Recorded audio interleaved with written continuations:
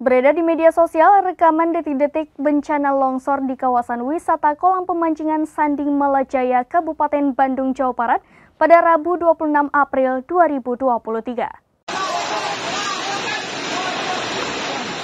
Kejadian tersebut berlangsung pada pukul 16 lewat 15 waktu Indonesia Barat saat lokasi wisata tersebut teramai dipenuhi pengunjung. Akibatnya, sejumlah kendaraan wisatawan baik mobil maupun motor terkena bahkan tertimbun longsoran. Beberapa mobil mewah yang terparkir di lokasi juga ikut terdampak dan terjebak tak bisa meninggalkan lokasi. Seperti dikutip dari akun Instagram at Andreli underscore 48 pada Kamis 27 April 2023, tampak tebing yang berada di atas pemancingan longsor disertai suara yang keras.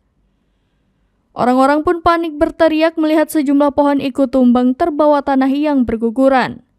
Pohon dan longsoran tanah itu pun menimpa sejumlah kendaraan yang terparkir termasuk menimbun sejumlah motor dan menghantam bodi mobil. Di antaranya adalah mobil Rubicon berharga miliaran yang terlihat jelas di kamera.